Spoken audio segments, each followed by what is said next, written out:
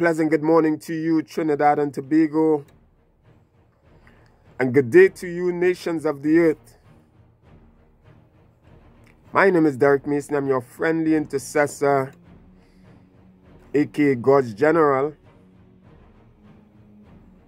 It's always a pleasure to be in your company, to bring to you the word of the Lord and to intercede on our behalf as a people, people of the earth. This morning, I want to share with you what I believe the Lord has placed upon my heart. But I first have to give you a reminder. Because sometimes we forget. Sometimes some of us don't even know that was said, that was spoken. So just in case you're new to what I'm about to play, I'm going to play it, then I would share my thoughts. But the Lord is still speaking. The Lord is still at work. He have never stopped working. Sometimes men think that they can escape the word of the Lord. The Lord watches over his word to perform it, every bit of it. His promises, his covenants, his judgments. He watches over it to accomplish it. So I want to play this prophetic clip for you and then I'll share my thoughts and I would allow you to understand what I was thinking and then what the Lord would have revealed to me so let's listen.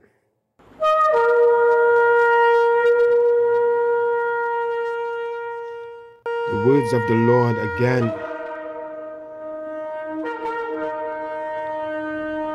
That is towards us, the nations of the earth.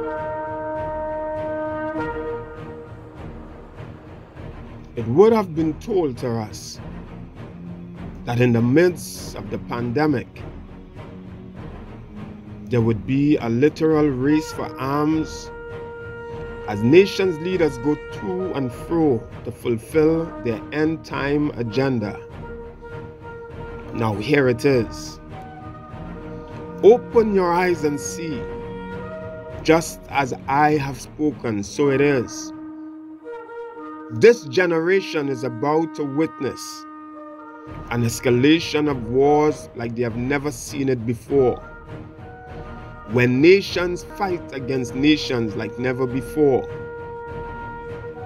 Restrictions on traveling would be enforced, not because of a flu pandemic,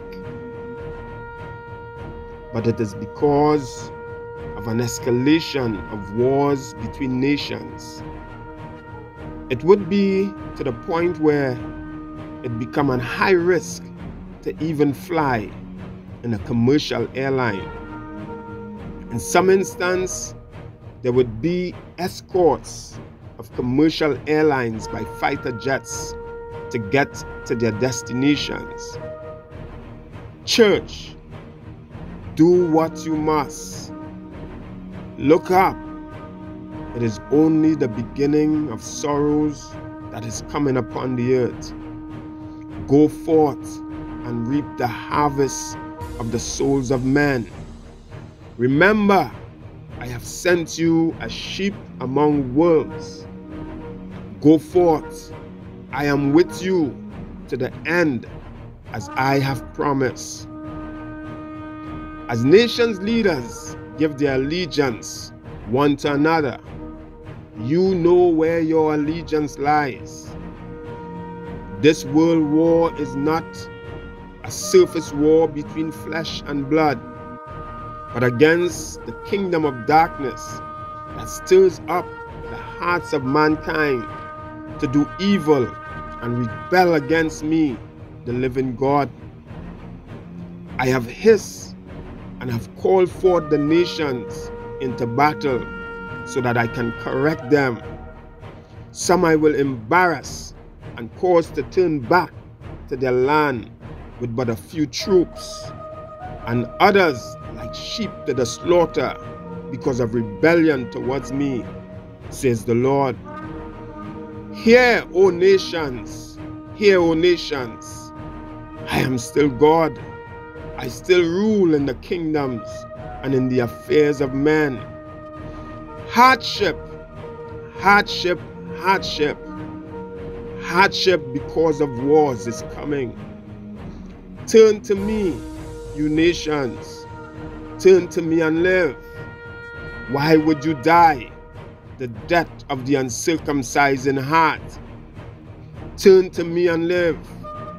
Hear my cry from one end of the earth to another. Turn, turn, turn and live.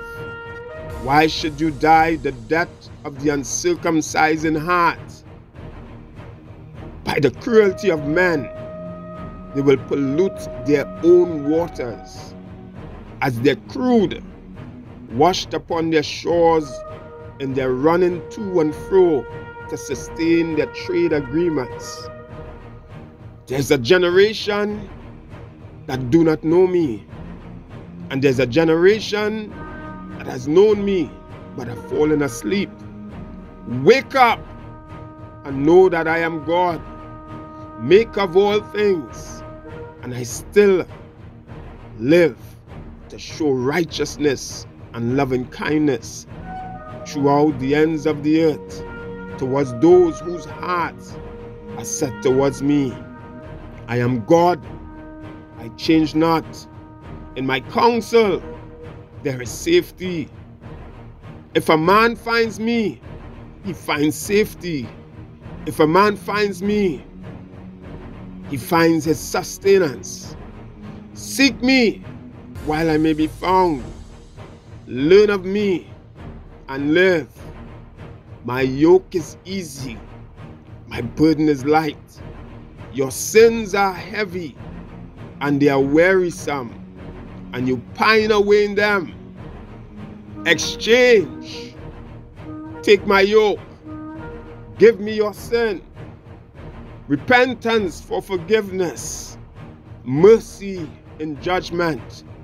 Life for death. Exchange says the Lord. These be the words of the Lord, nations of the earth.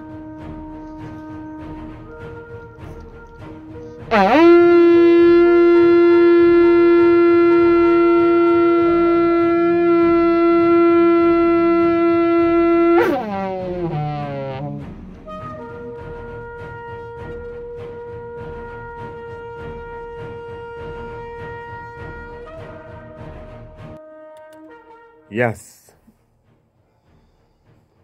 These be the words of the Lord, that which has been spoken a couple months ago, building up from that which has been spoken at the beginning, at the inception of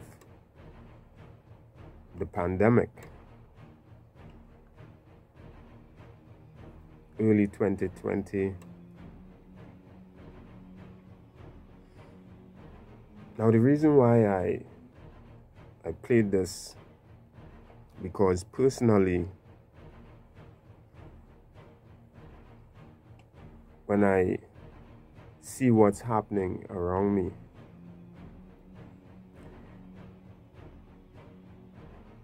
and I said me because times you you see things on a personal level, but it's happening around us, all across the globe.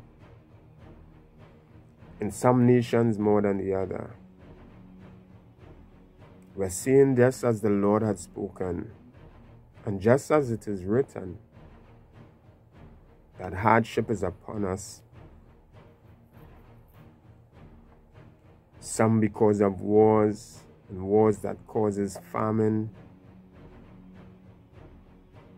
the actions of men that causes climate change and causes drought in some areas. We are seeing things that are escalating. And as for some of us, we become very concerned. And I am in that category where I have become very concerned for the souls of men. And I I recall the prophetic word that the Lord had given, saying that he has a controversy with the nation's leaders and he would answer them for himself. And in this same prophetic word that was played just a while ago, it is said that men would go to and fro running here and there for alms. And we are seeing it right before our eyes today.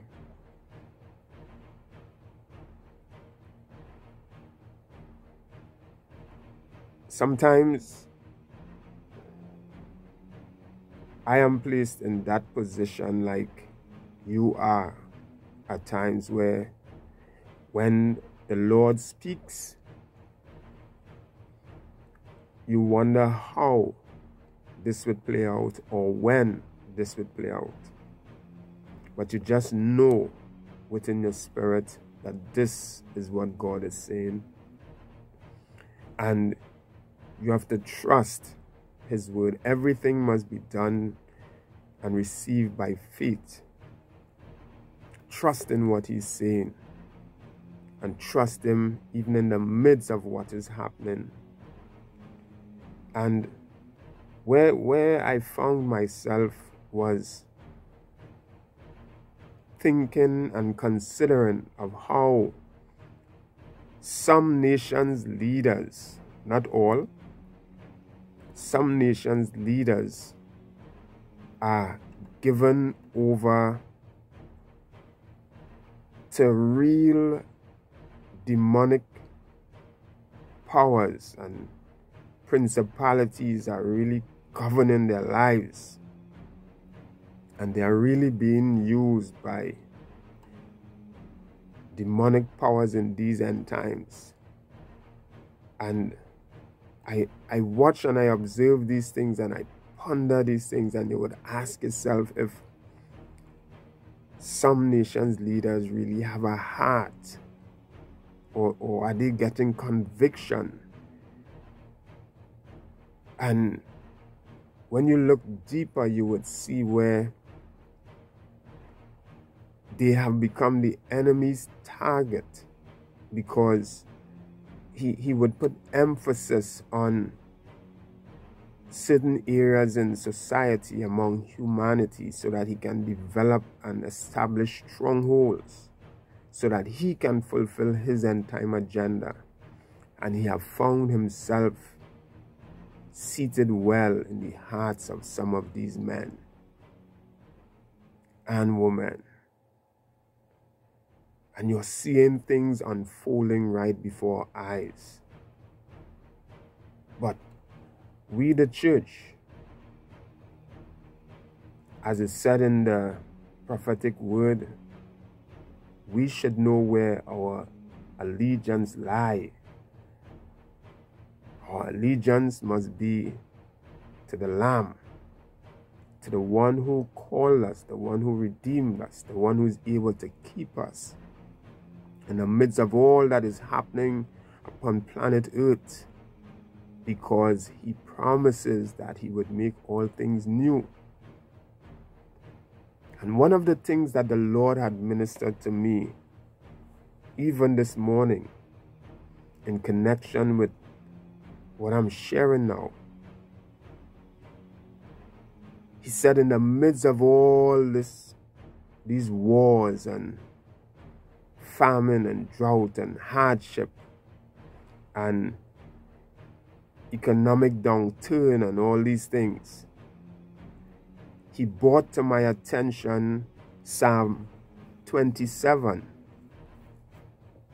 Psalm 27 and from verse 5 it says, For in the time of trouble he shall hide me in his pavilion.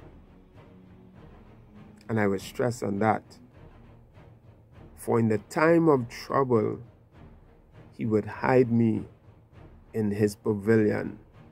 In the secret of his tabernacle shall he hide me. He shall set me up upon a rock. Now, when I pondered upon that, I I studied what a pavilion really is and what a pavilion is used for. For some of us who are familiar with pavilion, you would find pavilion mostly in playgrounds, stadiums, complex. And a pavilion is really a place where one can sit in and take in a game or one can be refreshed and it's a place where even the players on the field can just take a break and refresh and go again. But mostly, pavilion is that place where it's it has been like a seated area above change rooms and restrooms and these things the way that it's constructed so it's like a refreshing place. And when I pondered upon this verse here, where it says, For in the time of trouble he shall hide me in his pavilion. I said, wow. You know why you know why I, I really became amazed because That's where you sit to watch either one person going against the other. Sometimes people sit in pavilions to watch different types of sports like rock, um, rugby, wrestling, football, tennis, and you you watch and you you you you, you have your favorite um, sports person or sports team. And you're in the pavilion there and you're cheering on for who you're backing and in that moment sometimes people have a drink in their hand, a little juice, a little Pepsi, something, and popcorn or a burger. Some people in to have anything. They are just there to support their team or their favorite sport fan. But they're in the pavilion. And they are backing who they are supporting and they want to win, their favorite. And I guess you have the idea by now and the clue by now what I'm conveying here. If the Lord said through the psalmist David, for in the time of trouble, he shall hide me in his pavilion. It shouldn't be hard to see who are the game players while you are in the pavilion? Is the Lord against the enemy?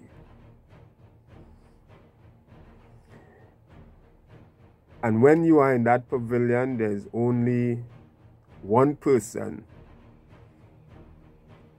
you can find yourself cheering for and saying, Go on, have your way, move. I know it's trouble sometimes, but I'm in your pavilion, backing your every word that you have spoken. You said that you would provide for me. I believe that, so I would make noise. I will cheer on. In the time of trouble, you said you would defend me. Therefore, I would lift my voice and my praises. When you sit in a pavilion, only only few sports like cricket and golf and and pool and them kind of thing, you see people remaining kind of quiet and, you know, but still you just get little clap and whatever. But real action sports, it has got noise. Especially things like football or, or, or, or the Super Bowl, American football, basketball, and these things. And in God's pavilion, in spite of trouble, he is the main player on the field that is dealing with the enemy. And that is what caught my attention when I became concerned for what is happening upon our earth today and how evil men because of the enemy that has gripped their hearts to do evil things upon our earth. And you, you wonder, where is the God in them? The enemy have been having a field day in the lives of humanity. But those of us who trust in the Lord and His promises, when we see these troubles, Jesus said, Look up, because our redemption draw nigh. That pavilion is a place where you are hidden in Him. That secret place is not a literal pavilion. But this is how the psalmist describe it. It's that place where the Lord would cause you to see. Oftentimes a pavilion, it, it sort of like start from a position where you can see. And it just ascends going up.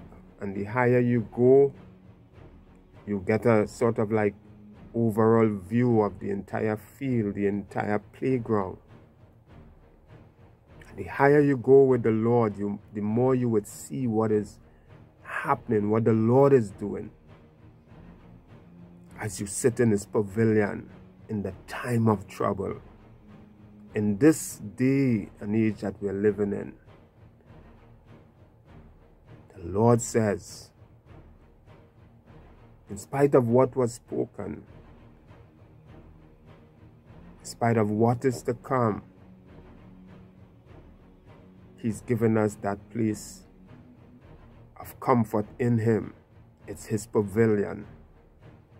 It's His secret place, the secret of His tabernacle. Is the place where He would hide you. He would set your feet upon a rock, a firm place,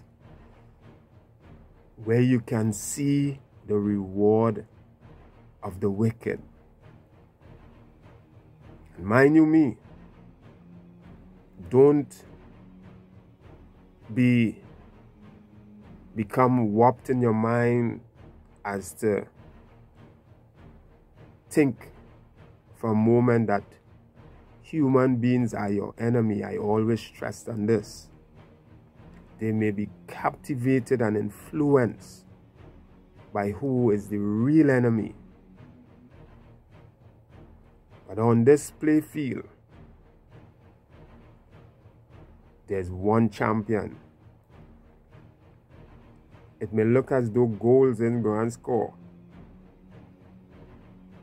But trust me, this this game already won. If you are not in his pavilion, get in his pavilion. If you're not seeing what is going on, maybe you're on the outside of the stadium. Get in the game. But be in the pavilion where you can see what the Lord is doing. The Lord says in Psalm 27, verse 5, For in the time of trouble, he shall hide me in his pavilion in the secret of his tabernacle shall he hide me. He shall set me up upon a rock. And here it goes in verse 6 And now shall my head be lifted up above my enemies round about me.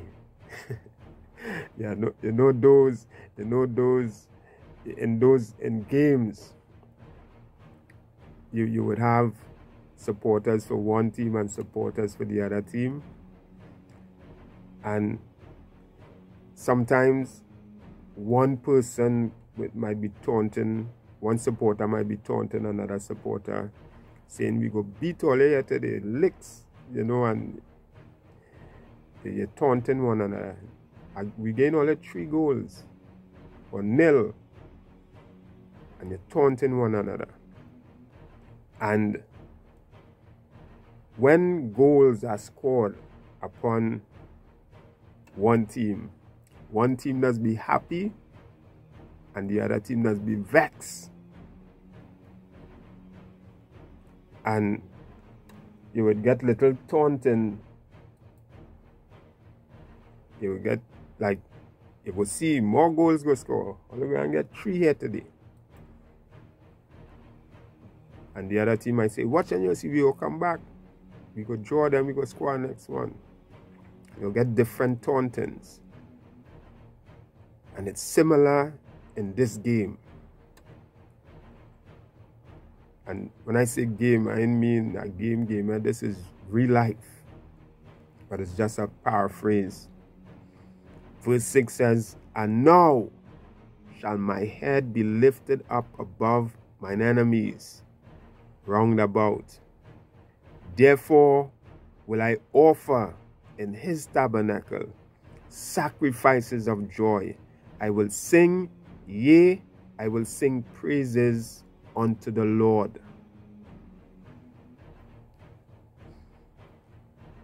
In that pavilion, you cannot remain silent. Your head would be lifted above the circumstance of what the enemy brings because you are cheering on for the champion of champions. In the midst of all that is happening, people, when you're hidden in God's pavilion, you see the outcome.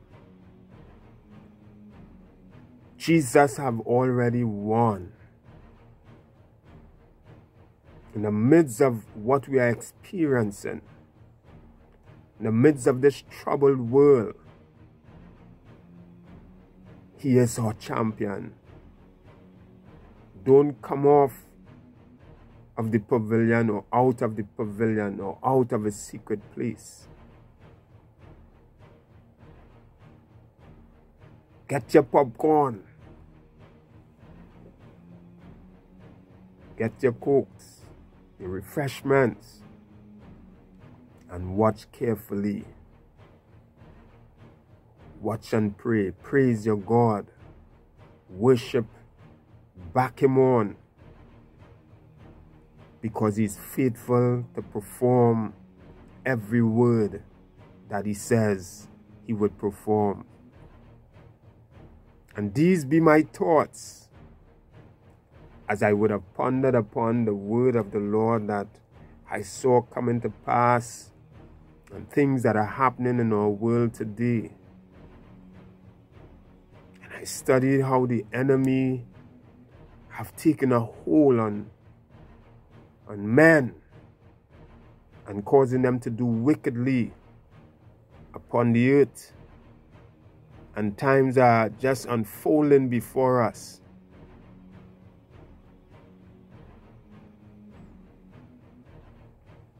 I see these things, the Lord put this in my heart.